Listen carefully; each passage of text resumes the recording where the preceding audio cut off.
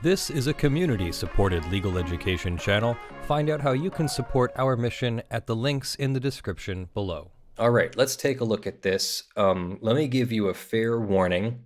They do talk about how an animal had to be eliminated. And so people who can't hear stuff like that probably should go.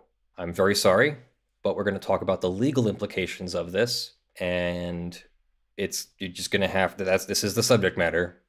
Someone killed an animal and we have to decide whether this has broken the law. Okay?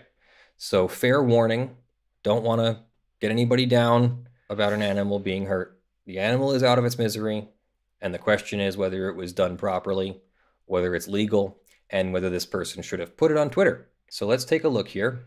Yes, this is QC versus Fox. So Joe Malgum, mm-hmm. Malcolm, Malgum, Malcolm, and it's uh, Jolian, Jolian, Joe Lion Malgum, QC. Do we know what QC stands for? Queen's Court. You said he was from UK, right? Yes. Like that's Queen's not Council. Queen's Counsel. Okay, so QC means Queen's Counsel. He's a barrister, and he says, Already this morning I have killed a fox with a baseball bat. How's your Boxing Day going? And this is at 12:10 a.m., which is what 10 after midnight at uh, on 26 December. So it's basically just after Christmas Day. He says, I didn't enjoy killing it, but I imagine that's what the RSPCA would have done, the Royal Society for the Prevention of Cruelty to Animals, I'm guessing, uh, if they had to call anyone in central London on Boxing Day. If they had anyone to call on in central London on Boxing Day. Uh, the chickens were pretty distressed, which is why I raced down in the first place. Even after the fox was dispatched, they were upset by its presence, not sure what would have happened had I left the fox live in situ about two feet from the chickens. Doesn't have a gun, so he can't shoot it. He's allowed to keep chickens, and he was wearing a kimono. Wasn't a great deal of fun. Like, can we talk about how bad of an idea this was to put on Twitter in the first place? I mean, forgetting if there's any legal consequences to putting it on Twitter, it's a bad idea to talk about some of the things that people have to do. Uh, naturally, my brain goes straight to, oh, let's pull from a personal example. What did I just say? Don't talk about it publicly. so, yeah, I think it was a bad idea to talk about it publicly on Twitter just because. But apparently, there might actually be a law that says you can't do this. The RSPCA told British media it was investigating and, in a tweet, urged people with first hand knowledge to call them. The Royal Borough of Kensington and Chelsea, a council that covers a vast stretch of central London, has noted that there are two legal methods that can be used to dispose of foxes shooting, which is too dangerous in urban areas, or lethal injection, which is expensive and can only be administered by vets. Pest control companies will kill foxes. If you decide to employ someone to kill a fox on your property, you will be responsible for the costs, which can be considerable. Public advice by the UK government says foxes trapped are protected under Animal Welfare Acts and must be killed humanely. It warns that persons can be jailed and fined up to £20,000 or $37,000 for causing. Oh, that's Australian? Okay, £20,000 would be $26,000 in the US. Uh, fox hunting with dogs was banned in 2005. However, hounds can still be used to track animals before they are shot. In years since, the Conservative Party's election manifestos have pledged to offer MPs a free vote on whether to reverse the ban. But in a change of course, Bojo dropped that long-standing position earlier this year and said the government would make no changes to the Hunting Act. So, what do we think? Do we think the Royal Society is going to file a complaint and charge him with the inhumane killing of a fox? Uh, if so, if if the if the law really is that you are not allowed to both trap a fox and kill it without using the proper method, then yeah, he's violated the law and then advertised it on Twitter. So one thing to keep in mind, like the person we're talking about, people in the UK will know, but this is a person who has been taking the government to court a few times, is quite a vivid Remainer. So if there's someone who already has a target on his back, this is something you don't want to advertise on Twitter. Because people will try and push for this for him to get investigated and possibly charged for it. Okay, so the Guardian, the Guardian is now saying that RSPCA investigators have taken photographs in his garden and London home as the debate continues over whether he was justified by his actions. There have been 10,500 replies. Animal welfare workers expressed sadness, which they say that killing the fox was a needless act. It is deeply saddening that anyone should react this way when coming face to face with a wild animal. The fox was trapped in netting surrounding his hen house, which he has said his violent response was triggered by the grief of losing chickens to foxes in the past. No one should relish killing animals. I certainly didn't. Many or most councils in London treat foxes as an urban pest. Ah, uh, I mean, this is where we start to get into the debate a little bit. I think the foxes were there first. I don't mean that particular fox was there, but I think yeah. I think foxes existed in the wild before London was created. And I, so, you know, when you create an urban environment where animals used to live, you know, pressure of humans spreading puts pressure on the animals to still have to survive. It's not like the animal just stops trying to survive and says, up, the humans won. It doesn't work like that. So to me, it's extremely disingenuous to forget that, to forget that the animal and the humans are trying to coexist. And the human obviously has a big advantage. A wildlife consultant with Foxagon. We're, here we are talking about the hexagon trademark, and here we've got Foxagon, which helps individuals and businesses with humane fox deterrence, suggests that Maugham, Maugham may have committed an offense under the Wildlife Act. The law makes it an offense to mutilate, kick, beat, nail, or otherwise impale, stab, burn, stone, crush, drown, drag, or asphyxiate any wild mammal with intent to inflict unnecessary suffering. So then, did he have the intent to inflict unnecessary suffering? I don't know. If he hit it in the head with a baseball bat and it was successful, I mean, even if he wasn't successful in the first try, but if it was an intention to kill it with the first blow and not make it suffer, but if it was an intention to make it suffer, I don't know. This sounds like the kind of case where they might not actually charge him because he didn't have the mens rea or criminal intent. However, it was a incredibly stupid thing to do. Depends how English law works. That's true. I'm not a, I'm not an English lawyer. I do not know how English law works. I know how American law works and mostly. I, I know in Scottish law, intent doesn't matter. It doesn't matter if you intend to do it or not. It's you did it or you did not do it. That's, okay, that's it. So intent doesn't matter as much in in Scottish law. In Scottish law. Which is different. So we'll see what happens with London. Woods said it was not uncommon for foxes to become trapped in netting of the kind used in children's football goals or bird netting to keep them away from growing fruit, but it should not usually be possible for one to become trapped in a chicken coop. Any coop that poses a risk to foxes also poses a risk to hens that it is supposed to protect, says Tara Kenward, who keeps chickens in southeast London. While a number of scare stories have circulated in recent years about foxes, including that they spread diseases or attack children. Some experts say they are beneficial. You should learn to live with the urban fox. If you take the fox out of the equation, then you are overrun with other things that you don't want. If you've got foxes, you will not have rats, for example. Their natural food intake would be a mixture of rodents. When we go underneath houses, we find a lot of squirrel remains. Funnily enough, with rats, they appear to kill them but don't eat them. Even they know that rats aren't good eating. wow. So, what do you think of that? In Fox law, this is considered a dick move. Says sausage toast. Cute. Uh, let's do a let's do a quick Twitter search or two and see about RSPCA. Yep, that's the one right there. yes. and like Mahit said, the Daily Mail literally wants his head, and that's the Daily Mail. The Daily Mail wants his head. Yes. well, I don't know about uh, the Daily Mail. They're not always. Uh, that's Australia. That's New South Wales. See, when they say Wales, I think of the Welsh in the UK. Gosh, you're not making this easy for us. geographically challenged Americans, are you? They've pinned it. it's now pinned. We are aware of a situation regarding a fox and would like to reassure people that we're investigating due to the very high volume of tweets. We can't respond to every single one. Oh, I, will I'll have to retweet this from my account that's logged in on the other browser. Yeah, I don't see any other tweets about it. So it looks like they only issued the one tweet, um, the one official tweet uh, it doesn't. It won't let me view tweets and replies unless I log in. Great, oh.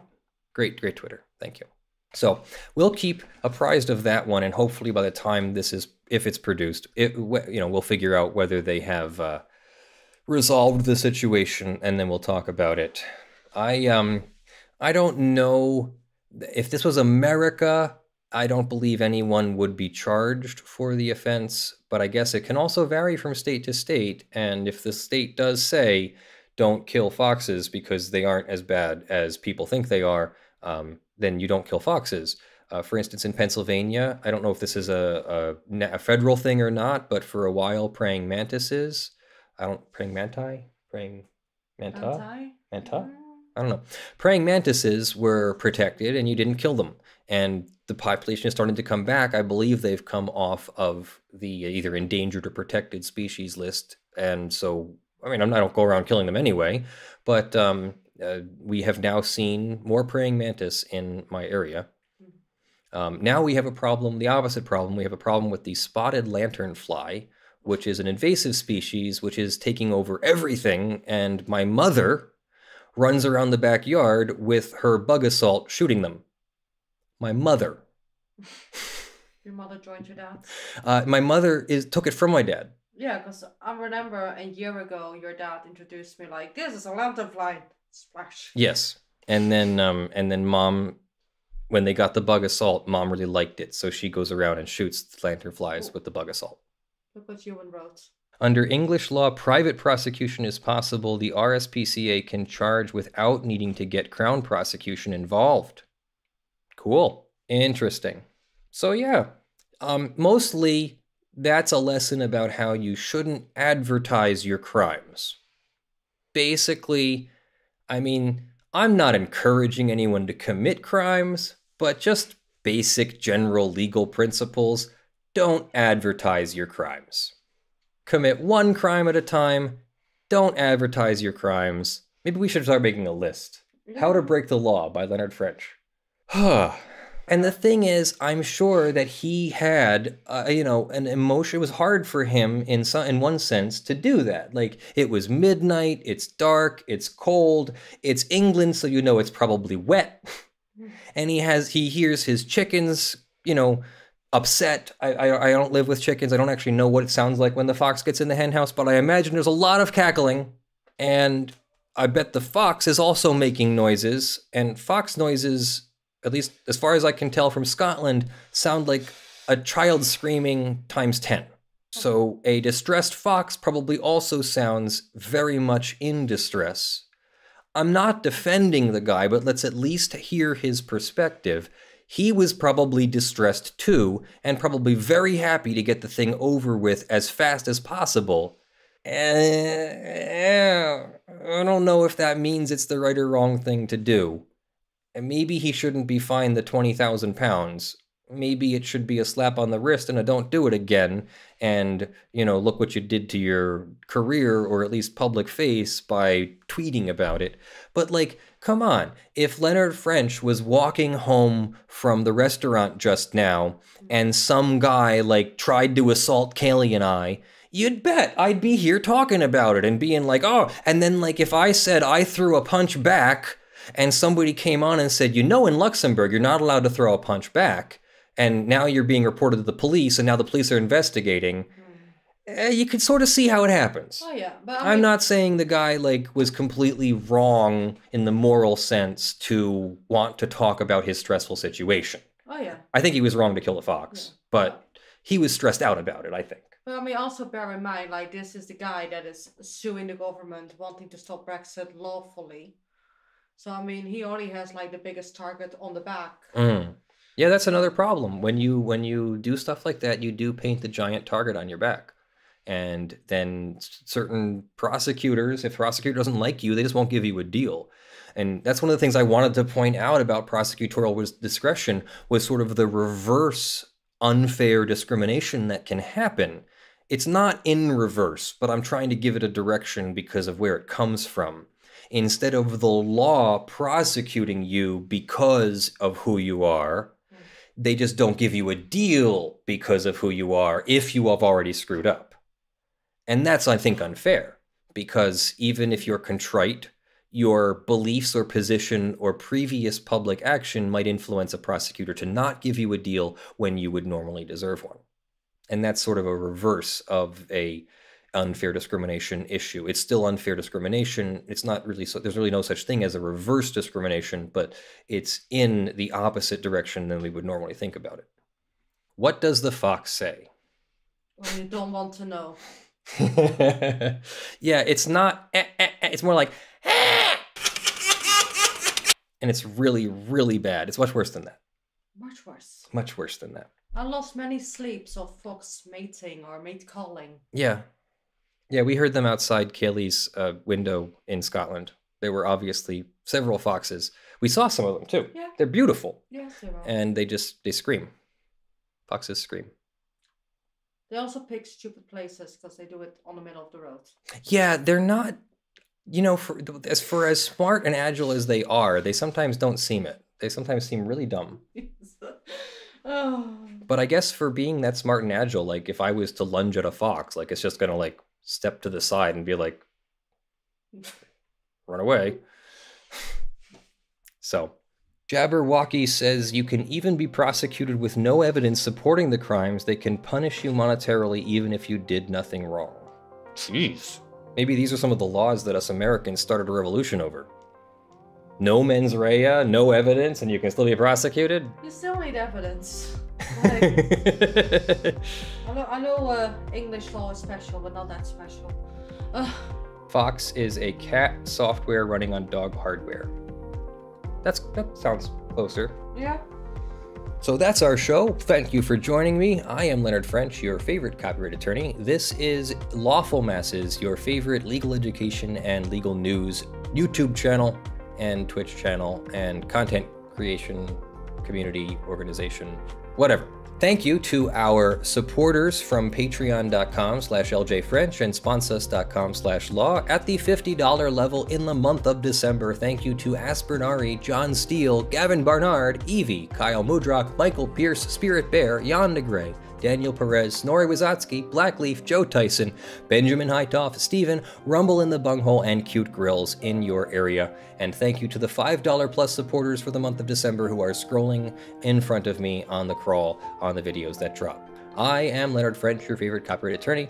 Have a happy new year, and I'll see you in the videos that drop. Love you all. Bye.